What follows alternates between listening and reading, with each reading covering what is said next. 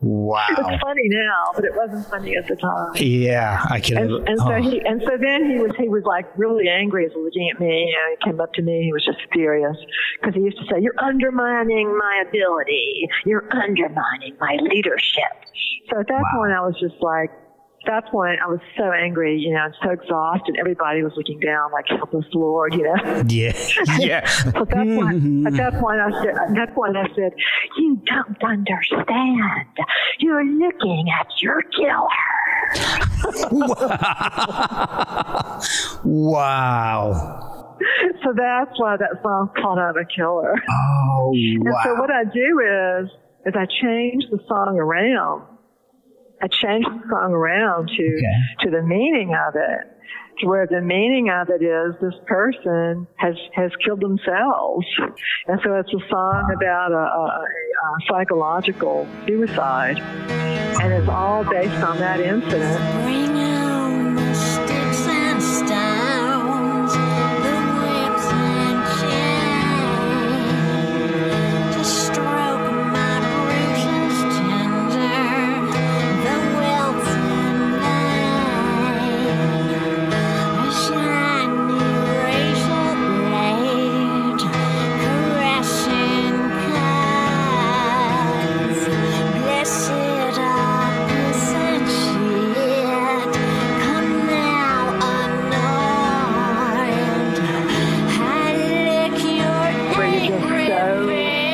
Up against the wall, you know. yeah.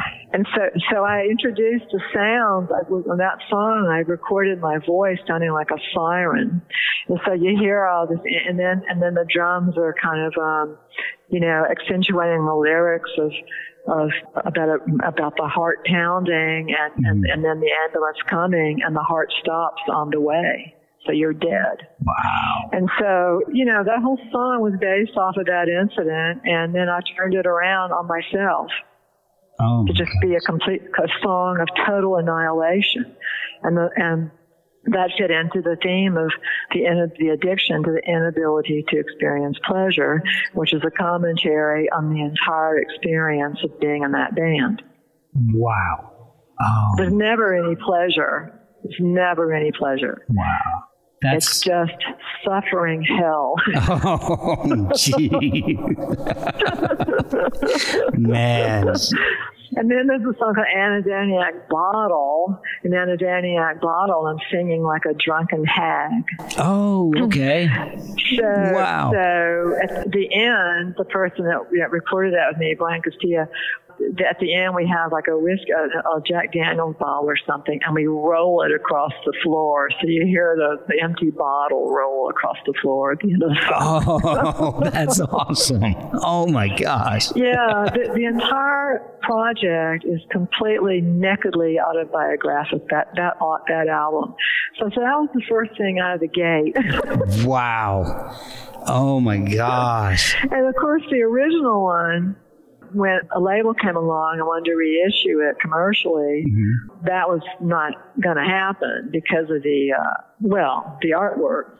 Yeah. So Richard Kern's photographs featured uh, the very first photo was a graphic full frontal nude close up, and I'm wearing a chastity belt that I had made by an artist. Two artists actually worked on it, and it's got jagged hooks sticking out of it. So, so instead of the idea of being, you know, uh, chaste and and you know, a demure, oh, you hold the key. No, no. And this belt was attempt to have any pleasure whatsoever, whether it's self or someone else, mm-hmm. and you will be ripped to shreds by my hooks. Wow. So there was a very just so again that goes along with the inability to the addiction to the inability to experience pleasure. Wow. So all the photographs are very snarly and graphic, and they're totally nude, but they are ain't, they ain't sexy.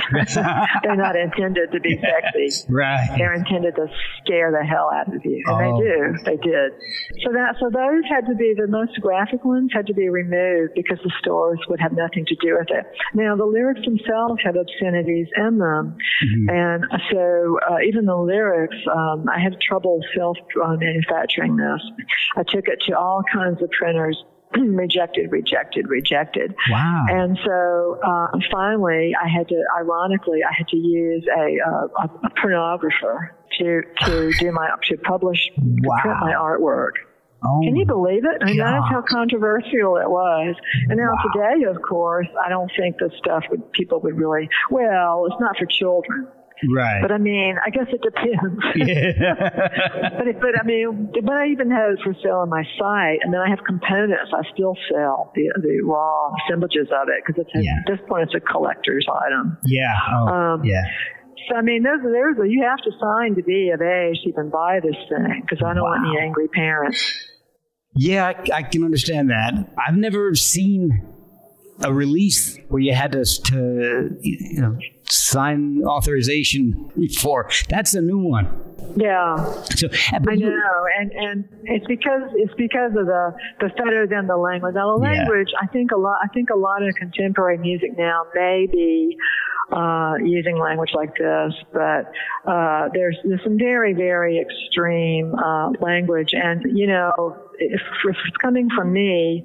It's um, it's coming in a, in a, with a literary reference. It's it's Mhm. not coming from attempting to shock you. right, right. So, you know, w- when you hear some of the things in there uh, about anointing and uh, blessed this and that, those things that are blessed and anointed are extremely, um, I guess you would say, uh, heretical, but they're Right. not heretical. And they're, they're, it's almost like a Shakespearean thing. I mean, they're, they're not Okay. heretical from a person who's a Roman Catholic and a Buddhist, which is me. Okay. So it's like so it's like they're they're not they're not intended to be heretical. And ironically, one of my biggest uh, supporters, fans, is a Catholic priest, and so I think that he cool. understood the the references there Yeah. and the place of pain that that was written from. Okay, yeah. But but the, but I mean, you know, I've always did the solo albums because there wasn't enough uh, room for me to fully express myself in Swans, and so I was always doing my own solo albums, writing my own songs. Some of those songs made their way onto Swans albums, like Volcano went on to soundtrack Oh, yeah. for the blind, and She Cries, and Lavender, and I mean, there were many Oh, many songs that were also turned out into that world, you know Yeah. but they were they were personal songs that I, and I like to shoot down the the um, the myst- mysticism of them as often as I can. You know, Oh, like with. Lavender developed this whole mystical kind of thing, and and and of course the reality is we were recording Great Annihilator, and we were stuck in uh, Cabrini Green in a warehouse that had a mosquito infestation, and so uh, we lived in there in a cement room with no windows on the Oh, side of the studio. And uh, so the place was infested, and and so uh, you couldn't sleep. I mean, you were constantly being attacked. So Oh, I learned, um, I learned um, that if I burned incense, they would leave me alone. So Ah. that song is just simply is simply me sitting in that room, looking at the names of the incense that are saving me from being attacked, and so that became the lyrics.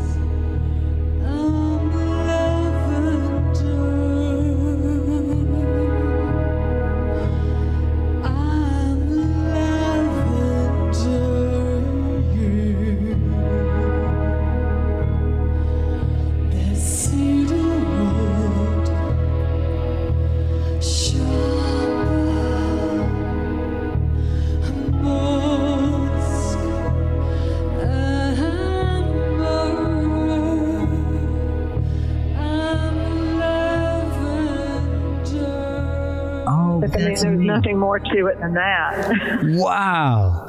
That's that's amazing. that is yeah, so cool. sorry, That- But now with with your releases, you also do a lot of your own artwork for them.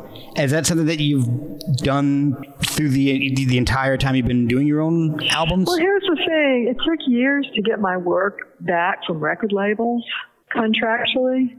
And I decided that I wanted to control my work. And I decided that if I worked with a boutique record label that had a lot of really cool artists on it that I respected and I felt good about being on their company, that I would limit the amount they manufactured and they would never have digital rights. I would be able to sell it myself online. Oh, okay. So I use DistroKid I use DistroKid, and some people use TuneCore and all this other stuff. I prefer hmm. DistroKid. So the other, the old way of thinking was even before digital and streaming. Right. Yeah. So they would simply have rights, you know, they would have rights to your album for seven years.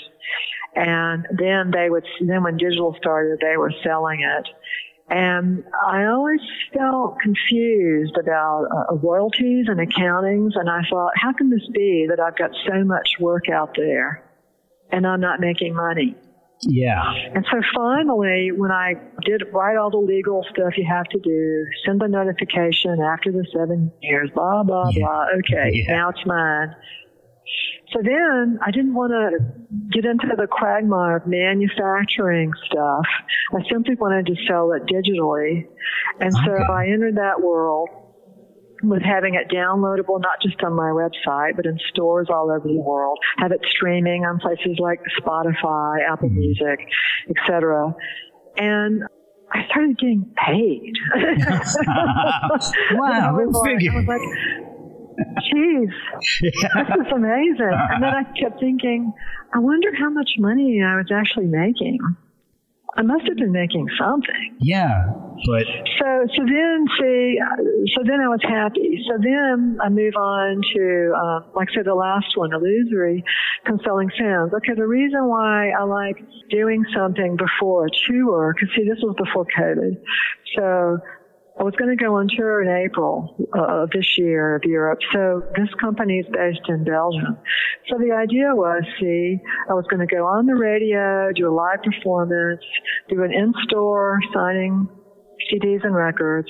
In other words, it makes sense to go over there, pick up your product to sell at the merch table at your shows. And this is how bands, you know, tour. yeah. The merch money is, is money that goes into putting gas in the tank, you know, Right. everything, just eating, surviving while you're on tour.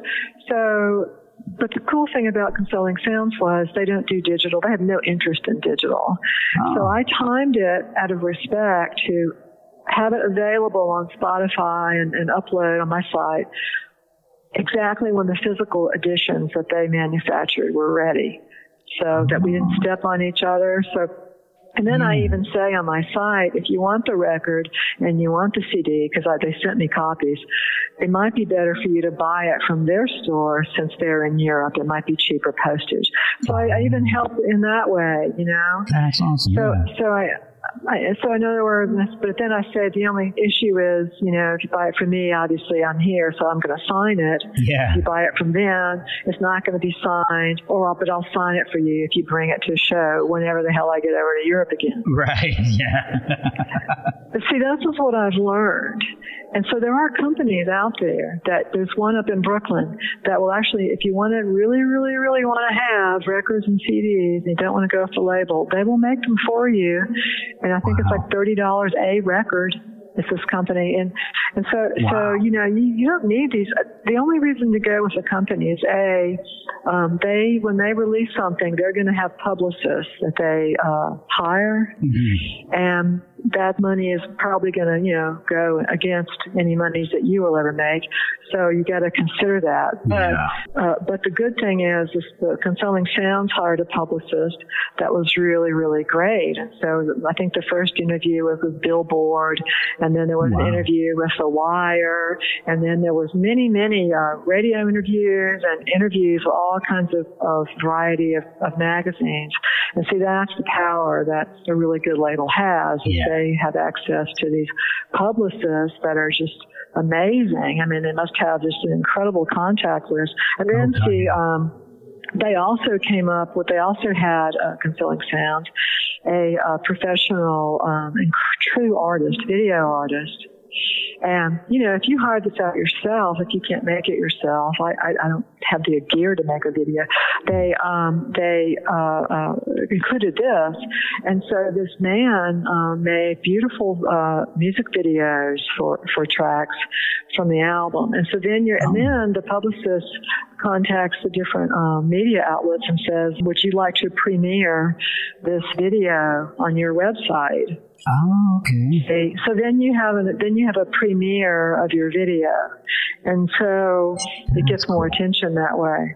So see this, I've been very very happy with Consoling Sounds. I can't I can't say anything other than I think they're amazing. Oh, so this was a, a a marriage made in heaven. This Consoling Sounds, and they have their own record store. Uh, and it's it's just beautiful. They have like a espresso bar in there, you know. Oh, wow. That sounds awesome. Yeah. yeah, no, I loved them. And I was really ready to just knock myself out for them promoting this album. And I was just heartbroken when this COVID thing destroyed my tour. yeah. This tour had me going to the, every venue I've wanted to, had me going to all these art venues that have really nice sound systems. Oh, They're prestigious, you know. They're for audiences. They're, they're not rock venues. They're Right. they're um, they're for audiences that are uh, perhaps more educated and cultured. I'm not saying anything bad about rock venues. It's just Right. that I prefer not to play them. A little more don't want to play discerning. Yeah. So, hey, I do have a question for you about you started recording as the Living Jarboe. So, what's Mm-hmm. the significance to using the prefix "the living" in, in front of your name?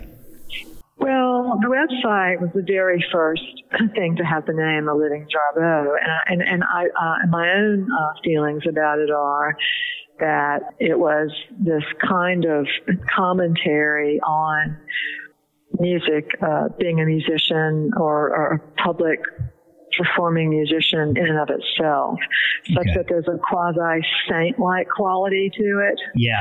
So that was kind of tongue in cheek. Okay. And then um, I had on the original website, I had um, pictures of Saint Dymphna all over it. And Oh, Saint okay. Dymphna is the patron saint of anguish and Ah. so and, and, and, and mental suffering. So it was kind of this whole uh, kind of connection to to Catholicism, and so that was the first. But then, um, in addition to that, the, the Michael released, you know, the, the double album of ninety composites of ninety five and ninety seven tour, which is where the performance of I Crawled is, is on that, and he called it Swans Are Dead. Right. Yes. So yes. to me, to me, it was also a counter to that. Really, Okay. Are Dead, the living Jarboe. Right. Oh, okay. I, So wow. that was the whole idea there. Okay. That makes complete sense now that you that you now that I have reference to it. Okay. I I've had guests on the in the past that you've actually collaborated with, and I love it when that happens because it it to me I don't know. I'm so outside of your world at this point. I just think it's it's just really cool when I when I have people on that I don't even realize at the time uh, work together. So you did work with uh, Danielle de Picciotto and Alexander Hacke, and they we both toured together. Okay. We did a tour together. Yeah. No, well, I mean, they did their own set, and, and what was cool was it was a co-headlining tour. Oh, So we would take turns. He would go on first, and he would go on last. It was really just kind of a totally what you call democratic, uh, you know, ex- uh, uh, outing. yeah. Yeah, no, I was very, very happy to to uh, tour with him. We get along great as as people, and I think that um, you know that was that was a lot of fun. And of course, I have a, a total history with with Alex. I first met him in 1984 in Berlin when he was uh, when I first met Einstürzende Neubauten on Yeah. that Swans tour. We and he toured. He was on the famous uh, Kings of Independence tour. which was another legendary rock tour. We're all on this giant bus together, right? Yeah.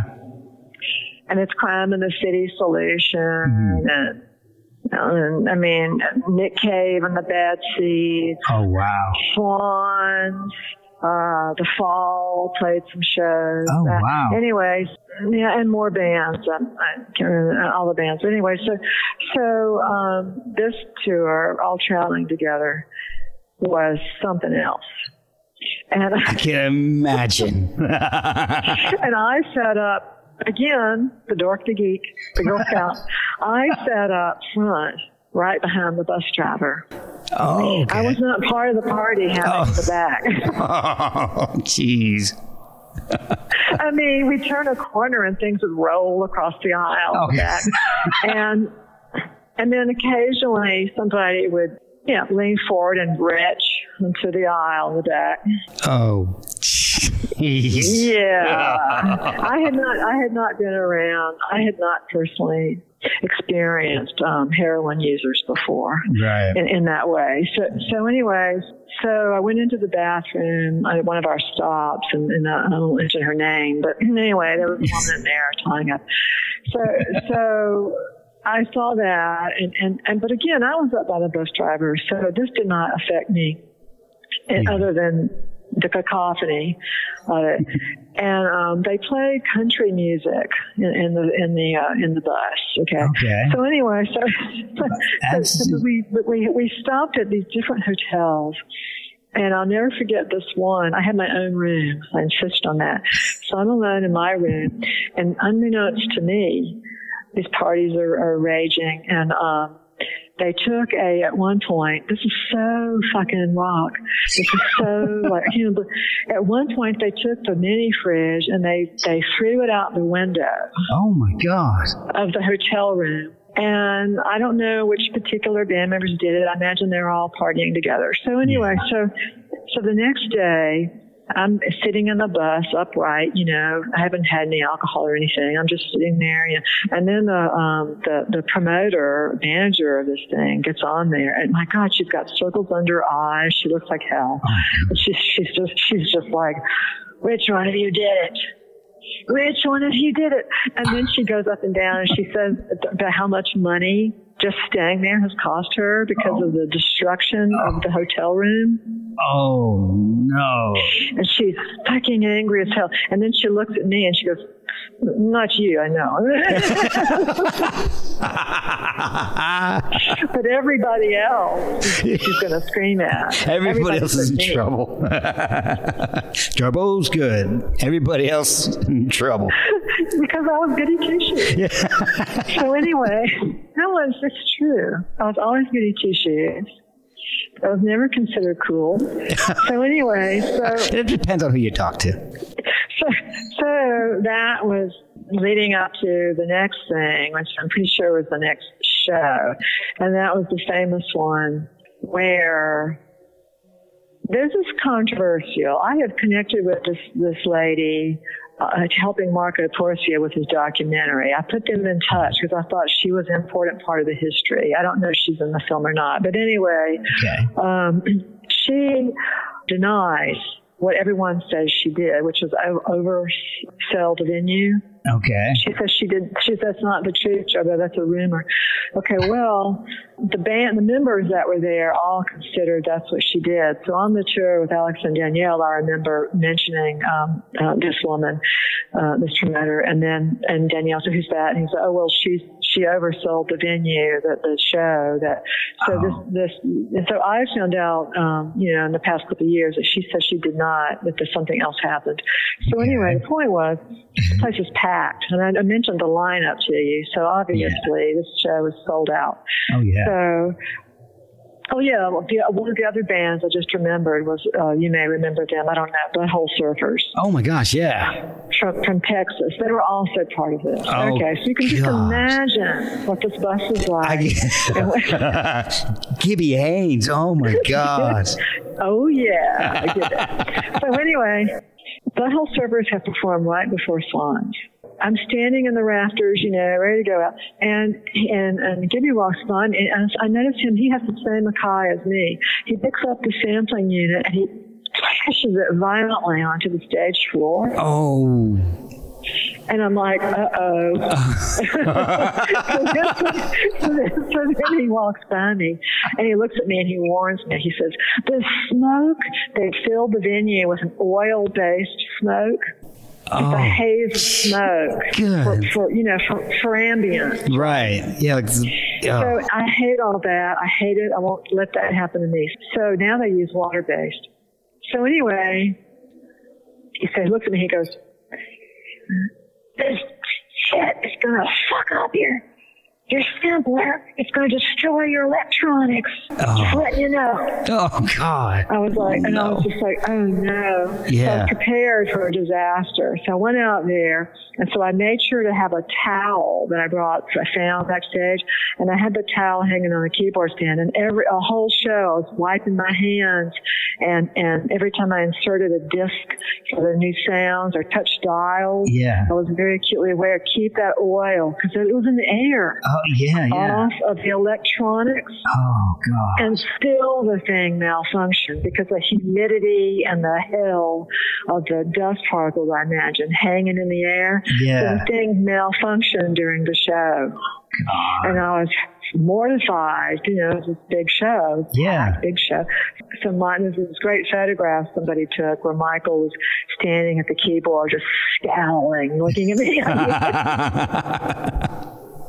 oh. Yeah, and I'm, I'm and, I, and I have like this expression on my face of trying to remain calm, and the face of you know total anxiety. Oh, but it's like there's nothing you could do, you know, Yeah. except wait for this thing to come back to life, you know. Yeah, it's out of your control at that point. So, so this whole time that we're performing, I imagine, or us, or or because I was, you know, after the show, trust me, I did not want to hang out backstage with all that going on back there, with Oh, all yeah. their friends and you know, fans and all those people. No, so I, um, my agenda would be to take my stuff, pack it up, walk out the door, get in a cab, and get the hell out of there. Right. Yeah. So that's what I did all the time. I was famous for that. So anyway, so we're done. I immediately get my stuff, personal stuff, walk out, go into a waiting car. I go back. They take me back to where we're all the, all the bands staying. Drive by, flames, overturned cop car, flames in the air, angry mob. There's a riot going on. Oh, They've overturned God. a German cop car Wow. and they've set it on fire Oh my God. because all these fans, lots and lots and lots of them, were unable to get into the venue Wow.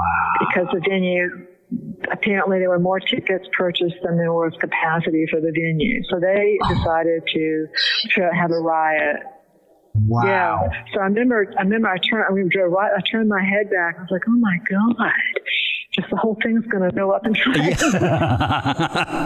oh wow. violence. That's incredible. So this is a legendary. So see, Alex was there, you know, too, Yeah. performing, you know, and he, I think he was the Crime and the City Solution. So obviously that we reminisced about that. yeah. hey, remember that time the club almost burned to the ground? Yeah. yeah. Oh, so you, unbelievable. oh, I, that's that has to be frightening. I know, and then you know this happened all the time. Like like in the early years, like like we did a show in Paris. It may have been our very first show in Paris. Because I remember since I had uh, lived there uh, for a while briefly, I lived there uh, for a while. I, I remember, I remember um, Michael saying, "Okay, can you direct us to the venue?" it's a giant city.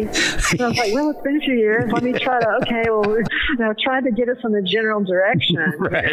know. Oh God. But anyway, this show, oh my God, we were supposed to be the headliners, right? We were the headliners, we were the last to go on.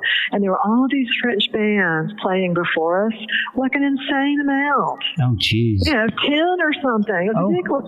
wow. And so, and so there was, this venue was in a place where there was a curfew. So all these bands are crammed in this tiny dressing room. Jeez. And Michael is humiliated, and he's trying to stretch and work out because he was very athletic in those days during Yeah. the show. And he had no room, and I was getting angrier and angrier. And he was saying to me, "Oh, this doesn't look good, Jogoya. I don't know. This doesn't look good about getting paid." So Oh. I saw the, the, the promoter, and I went up to him, and I confronted him, and I said, uh, "Pay us now. We're not going on. Pay us now." Oh wow. And he was like, you know, dragging his dragging his feet, you know, yeah, yeah, yeah. Pay us now, mm. pay us now, yeah. right now, now. and, so, and so he came. Now my recollection is he came back and gave me some money. Okay. So oh, anyway, that's good. so so, but this was ugly. Because there was too many bands. And of course, when they got up there, it was impossible to get them off. Yeah. Oh, yeah. So here it comes. Here it comes. Time for us to go on. The promoter comes back there again. Um, okay, so now you only have 20 minutes Oh. to play because of the curfew. What? We're the headliner. So we go out there. So Michael, who you know, speaks French, German. So he went up to the microphone and he said in French, demand your money back. Demand oh. your money back now. Wow. The promoter has told us we can only play for 20 minutes. I suggest you demand your money back and, and, you know, ask the promoter what he's done, whatever. And he says all this in French. Oh my So the audience starts rioting. So we start playing one song. And I'm pretty sure it was your property. So we Oh, start they- playing a 20 minute version of your property. boom, boom, boom, boom. And on, on the keyboard, all I'm doing is bum, bum, bum, bum, bum, bum, bum. That's all I'm doing. for 20 minutes Yeah. oh my God. which is the refrain. And so an Al's, you know, when Al's in the band, uh, he's grunging on the bass, you know. And so, so, so the audience, when we're done, right, they're angry as shit because they want more. Oh yeah. so they break out the, the windows in the front of the venue. They break them out. Oh they God. bust all the windows of the venue, and the French police come. And they come in there, and there's all kinds of violence, and everything's throwing all over the room. And we oh. literally had to duck to get out of there. Oh jeez. And we go back, and Michael's like, "Grab your stuff, you get out of here." and we had to Oh. literally run out of this venue because this riot and the police were everywhere. Oh my god. And then there was a time in Switzerland, you know, we were forbidden to perform in Switzerland. We were banned for a while Really? because we played this show. Yeah, we played this show with the band Young God, the Swiss band, and of course that name comes from Michael's song Young God. Right. Yeah. So the Swiss band, and the band had been produced by Roli Mosimann, who had been a drummer at one time in Swan. Yes. So anyway, so the band Young God is opening for us, and so so we played the show, and I'm standing there, just you know, and they have what they called uh, volume meters, limiters, Okay. and this thing would go off and alert the police. Oh my god. So the police, yeah, we had to leave. I don't know how many venues because they had these volume limiters. Wow. And so Michael didn't want us to compromise our sound by turning down. So I'm playing, and um, kids are throwing stuff. It's getting very violent. And then uh, the next thing I feel is a hand on my shoulder, and it's one of the Swiss uh, police. Oh my god. And stop playing. So we have to stop playing. Wow. That was there wasn't any riot, of course, because it was Switzerland. But No. Yeah. You, yeah. but I mean, we you know, it was again the police were there. That's incredible. It's like a running theme, you know. That's I mean, amazing. Marco in his documentary, he has a scene. I don't know where he found the footage, but I was telling the story about. I think it was Manchester or somewhere where, where the uh, you know this is this is when I started opening the show, like the Lamb to the Slaughter, like a sacrifice. Go out there alone on your knees and sing blackmail or something. Yeah. And and so I'd sing on the edge of the stage, and you know, and and these boys. I don't know if there were any girls there at all that night. The, the, the boys were like, "Show us your tits." yeah. yep. And I couldn't, I couldn't sing, you know. I, mean, I could sing. I just kept on singing, but it was like I was aware about what was going on. Yeah. But I just kept, and I, and I had to shut my eyes, you know, which I did all the time, just to just to focus on what I was doing and not Oh, them. yeah. And then I hear these boots coming out, and they have that in the documentary. And Al's coming out because he wore these cowboy boots with chains around them, Yeah. like, like spurs or something Yeah. and he, and he kept stomping out. I heard it. I heard. I heard the stomping. And he goes at the edge of the stage and he goes, "Yeah, come the fuck up." Yeah. I, I, I saw that in the in the documentary. Yeah. so of course I'm singing a melodic song, you know, and I'm like, I just kept on going. I had to ignore Al. I had to ignore the audience. Oh my gosh. It's violence. And this is, you can understand why in the later years when I started getting my own following and there were more and more uh, females in the audience and they would gather around the keyboard and there was a lot of applause when I would step up to the mic and a lot of applause when I would finish. It, it I mean, a lot. Yeah. That, that, you know, it got kind of competitive on the last tour. Michael would say, Oh, you got more applause than me. I would say, I would say, are you noticing that? So, so it got kind of weird, like it got kind of weird. And, and, but I mean, Yeah. from my point of view, from those later years when there were more women and when there were more of my crowd, this, my crowd, my audience were normally like goths, you know, like I could see because Mhm. everybody around the keyboard be wearing all black. And Right. so, yes. and they would start leaving me presents at the keyboard oh wow. roses, jewelry, uh, Oh. all the helmets, jewelry, and, and notes, and all kinds of presents will be waiting for me when I went on stage. And, and so it's particularly painful when you consider this is your first real pro uh, experience coming from the big city. You can understand why, um, you know, you're young, it's your first pro thing, your identity is entirely formed in that band Yeah. and um, uh, uh, why it feels like your family is, has disowned you when when it's terminated, and you're not uh, considered again. You know, so so I think that this is this is why I had the post traumatic stress disorder was.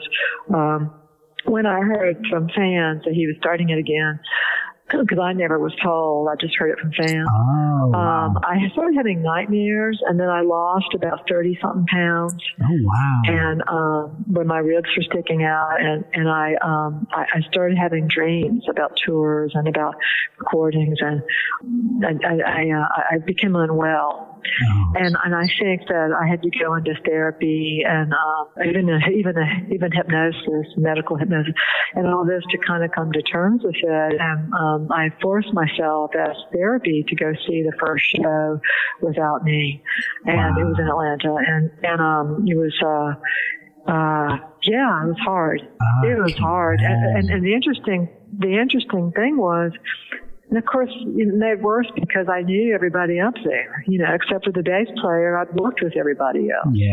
I had toured with Christoph. I toured with Norman. I had, I had toured with uh, Phil Phil Puleo. I, I had not worked with Thor at that time, and I had not worked with the bass player. But but I mean, it was kind of like seeing your relatives up there. You know. Yeah. Yeah. Oh And, gosh. and, um, and and so once I got over the, the kind of uh, uh, emotional trauma of it and just focused on the music, it was like they were speaking in a vocabulary that I understood. yeah. And so it was interesting because I thought, shit, man, I could totally be working on this. Like, I get it. I, I understand what they're doing. Wow. And um, so the, the joy of that took over. oh okay. And that's what uh, what helped me to deal with it. Uh, because I owned it, because it was weird. It was so familiar. It was Yeah. so familiar. I bet. And even though the sound is, is not, you know, is different and, and, and I'm not a part of the last few records, I mean, it's, it's a familiar soundscape. Yeah. It's familiar. No matter who's involved in it, it's familiar. So I can't explain it other than it, everything has a, almost a, uh, Wagnerian, uh, I don't want to be pompous, but almost like a Wagnerian passage of instrumental um, uh, uh, wall that is is a trademark sound, Yeah. and that and that is something that that I um, I remember, you know, very well, obviously. But I mean, I think that um, I guess from my point of view, that's one of the things that made it so hard. And um, also um, working with Neurosis, doing a blood screaming loud. I did six shows with him, and they were all amazing, all all completely sold out. The one in London Oh, was just unbelievable. People from all over Europe came to it, and then you know played at legendary venues. You know, Wow. and I think that um, that reawakened in me, you know, the, the the volume and the fact that I feel at home in that decibel level, the fact that I can work in that realm. If you put me there, I can adapt to it. Yeah. exactly. Now, in terms of talking about some of the behavior, of Michael. I mean, come on, we were we were a couple, and plus he's openly talked about everything I talk about. He's encouraged me to talk about what happened in Switzerland when I when at that confrontation at the at the uh, uh, sound check. Yeah. He has encouraged me to talk about it, and so so I think that um, you know I wouldn't say anything below the belt. I would Oh, just yeah, yeah. talk about talk about what is common knowledge. Well, he's even used some of that in his don't music. Like some, some of the, re- the recordings that you guys have, have had arguing ended up in the music itself. Yes, you see through me. Uh, you see through me. That is uh, an actual cassette recording that I made when he came in at five in the morning, and I I wanted to to try to to show him the next day what he was like. And of course, that's just an edited part of the of the total recording.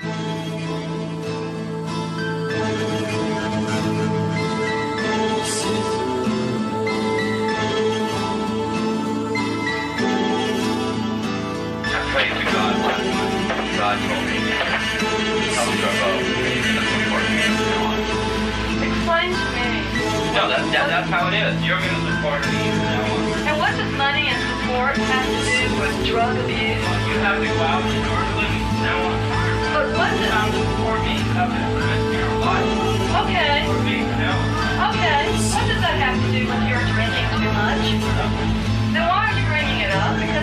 Right, yeah. But the thing was, is that you know he he didn't understand. I don't know. He just had a different idea about things. He didn't really understand what it was like for for anyone other than himself Yeah. in terms of living with someone like that. And the thing is, I've learned with certain behavior patterns in general, with that type of personality or, or, or that type of disease, which it is, Yeah. is um, you know they will go from um, extreme, uh, I guess, painful, almost self-destructive behavior or, or anger or lashing out to, you know, showering you with gifts. So they go back and forth. So it's a kind of a, um, a predictable thing, and uh, it's a it's a, a long, ugly road. And so I think that um, you know it's a common problem. So I think it's really good that he addresses that in his work. And Yeah. I always felt queasy uh, before he recognized his situation. I always felt queasy on stage performing the song "Alcohol the Seed." I never liked that because I and I confronted him about it, and I said, you know, we're giving the kids because I always look at the audience as the kids, you know, and I was Right. like, we're giving the kids the message.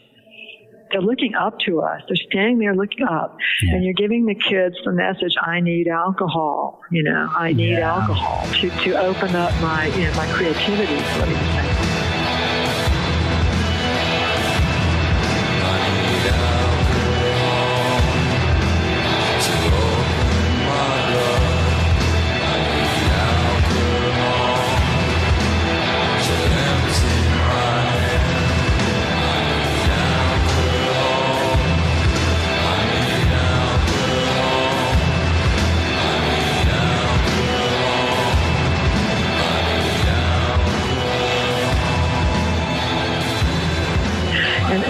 like, I don't think we should be, you know, telling this is a, and, and he was like, oh, you understand, that's based on, I just finished the, the novel, you know, the, the, the story John Barleycorn, you know, John Yeah. Barleycorn must die.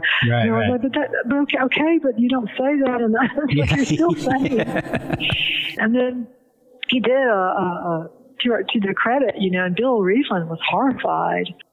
Bill Rieflin, whom I adored, he and his wife were, were basically my family members. I loved them. I had such an intimate connection Oh. with both of them.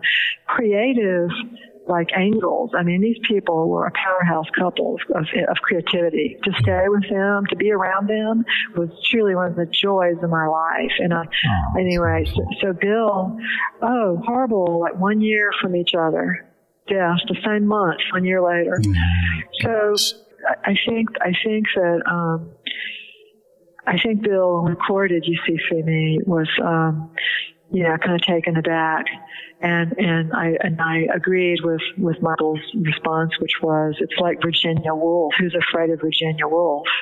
Okay. which you know your your listeners, it's a well that they should explore. Who's afraid of Virginia Woolf? Yeah, yeah. anyway, it's, it's a film. If you don't want to uh, read about the the, Yeah. the the play or the story, uh, uh, Richard Burton and Elizabeth Taylor, Right. and um, so it explores this kind of thing with drinking, and, and I think that um, it was a, a bold and, and, and, in my opinion, it's a difficult listen, but it's also deeply poetic. I mean, it's it's very powerful.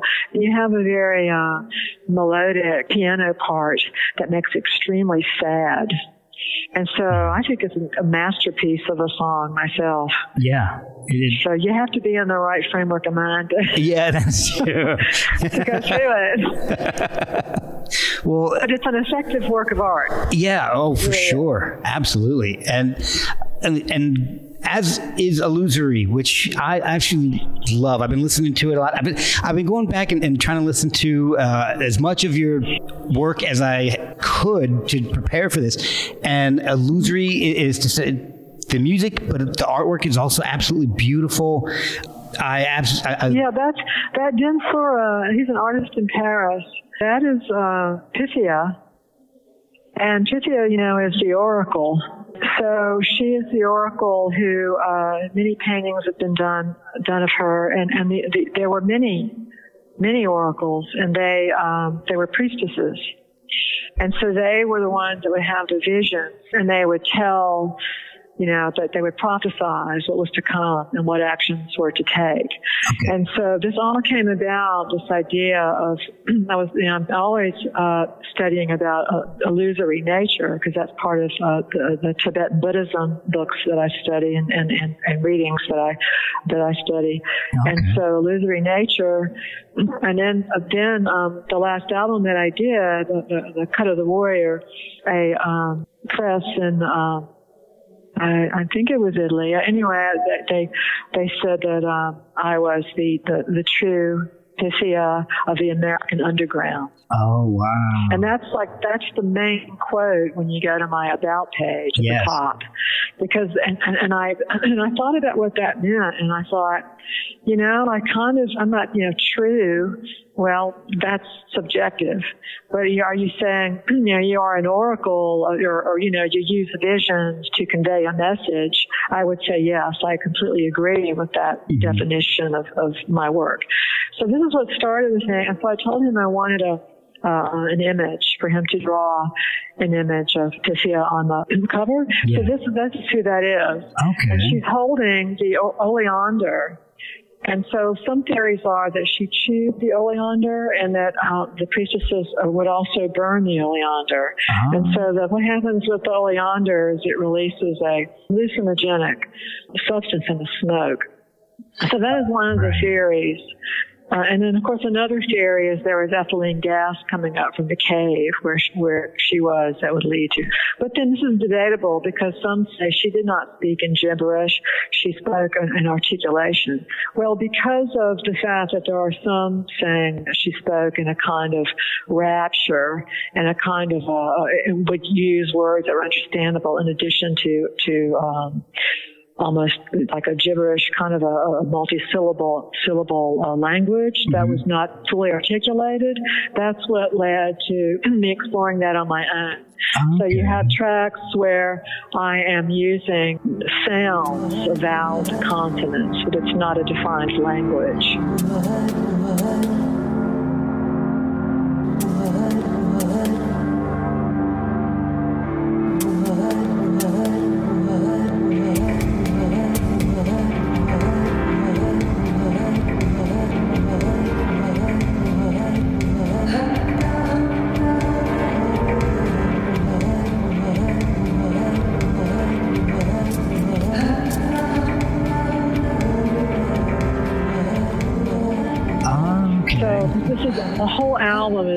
Another like concept album as, as you were about about Pythia.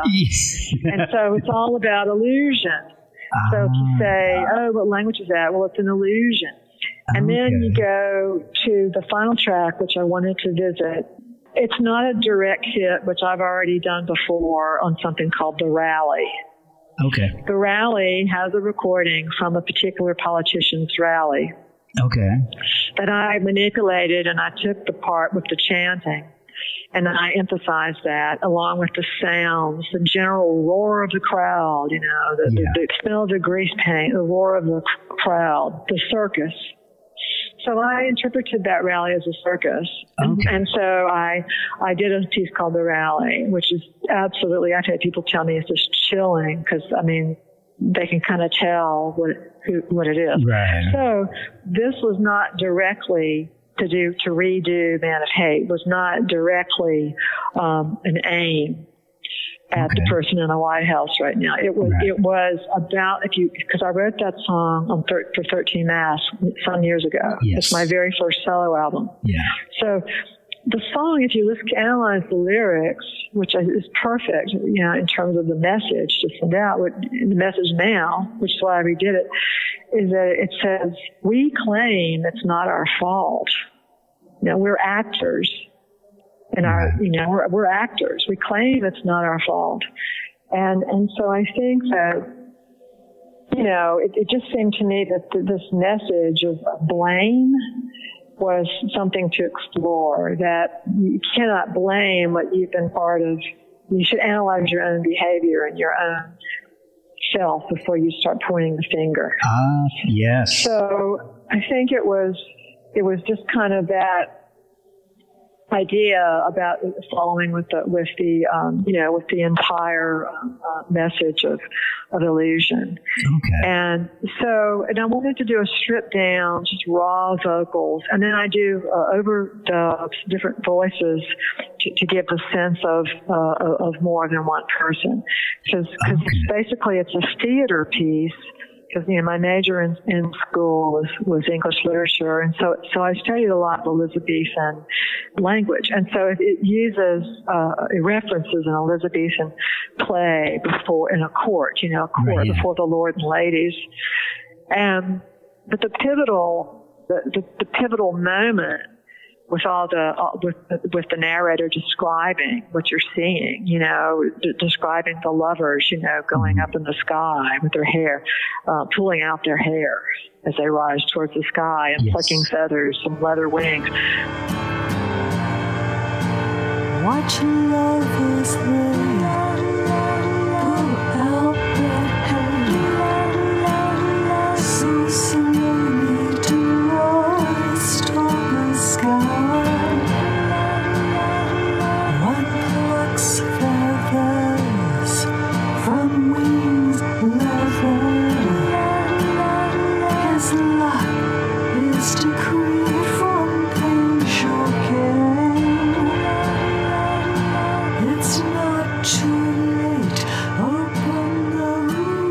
then the pivotal line there, his luck is decreed by Angel Cain. But the pivotal moment for me is, um, you know, before you ever see the man, hey, and then you say, we claim it's not our fault. You know, we're actors in our guilty mission. For shame is in the fault, not our pretty submission. So it completely applies to the political arena. Right. Yeah. and then, you know, I think in particular, well, you can almost see a play happening with some of the leaders we have right now. yeah. you know, reveal my good confession, what I hope to gain. I admit to grand obsession bleeding Yeah. in my veins. Mm. So this kind of grand obsession is, is another thing I thought was apt right now. Yeah. Yeah. But but you know, a reviewer for um, it's a really good uh, a metal magazine. A, a, reviewer who has always been supportive of the work um, said some really nice things. I gave it a 10 out of 10, which I was really honored Oh, I wow. to, to get that rating. Not that I believe in the rating system, Right. but I, I, I think that um, you know for a metal magazine to, to give me that, I only thing about it was I thought, oh, so how did I fail with that? Because he thought that you see, he thought that illusory was a res- the, the song illusory was a response to UC see through me. It's Ah, not a response to UC me. It is. It's actually the idea of it was struggling with who one is and struggling with how you define who you are and what is real and how has time changed how you think about yourself. And is this what you are? Is this who you are? And so there's this whole kind of struggle that, that I, as the narrator, am having. And am I healing from all the, of the pain? And, and, but, but, you know, the comment is made time is, time heals. Well, is time itself real? Because it's oh. also an illusion. And so, so what she, so it's a song for the self. It's a song analyzing the self, you know, like, am I authentic?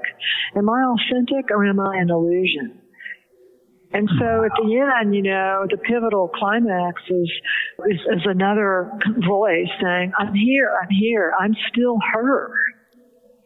So it's a song to me, you know, and, and to, to other people that are feeling, um, kind of bewildered or lost, you know, and, and, and so it's not a, it, it is definitely not uh, um, a public rebuttal to a song from all those years ago from Jane Lee. It's definitely it wasn't intended that way. Right. Well, it's fantastic. The, I, I'm really enjoying it. I'm enjoying going back and checking out some of the stuff that I, I unfortunately missed by not, you know, hearing it, you know, not following Swans and your you know, solo work since then, but, but I'm going back now and I'm, I'm really enthralled by it. Like, like the conduit, I absolutely love that album. That that to me, it, it album is that's it's on a constant loop for me right now, and it's that that's I could love that kind of music. It's it's kind of like almost like a sexy red era King Crimson. It's it's it's just the music is just amazing.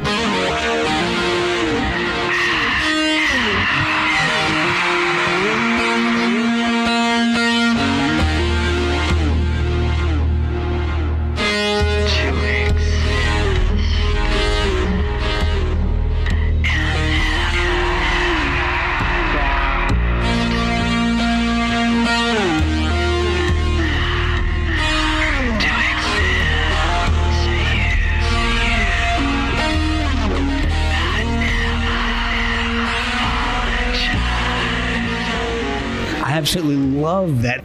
That it, it, it sounds like an improvisational guitar, and it, it album Yeah. does sound very improvisational and very King Yeah. Crimson ish in that regard, and, and that's the kind of stuff that I'm always drawn to.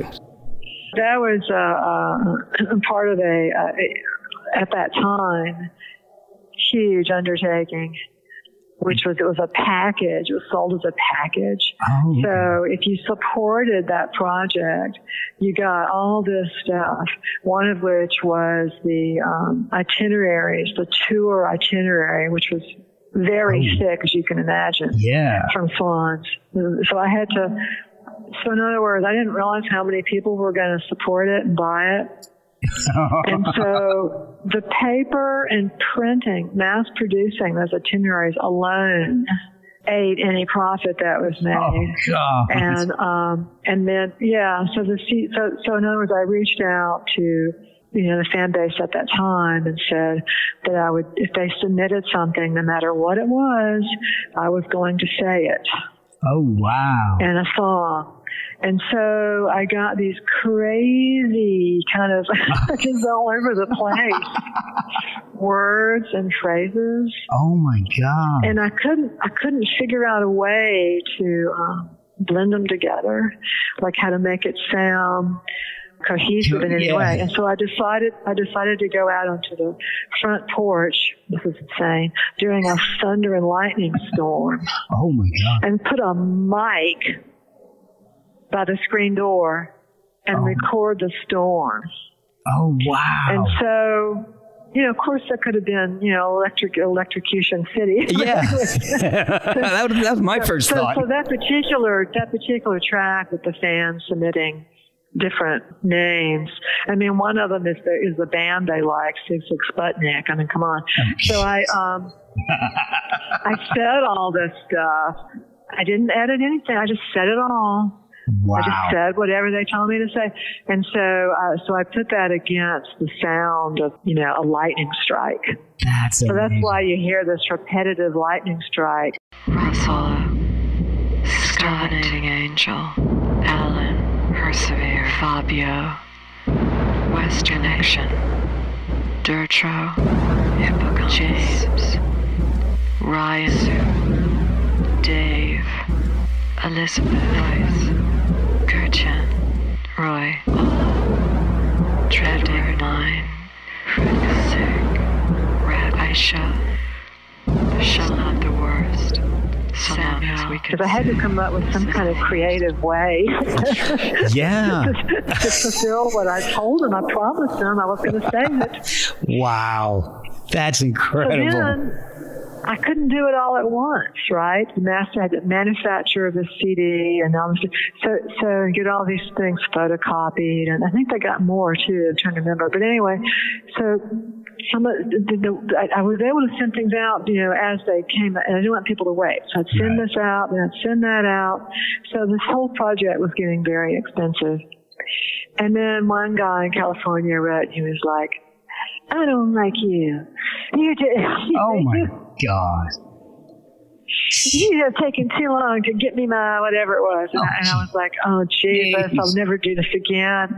I was like, I'll never do this again. I'll never promise Oh my God. this, all this stuff. And I just, I didn't realize, you know, that it was going to be such a big deal to, to make all this stuff. Oh. It was really, and you know, this is, this is what happened when the Kickstarter started.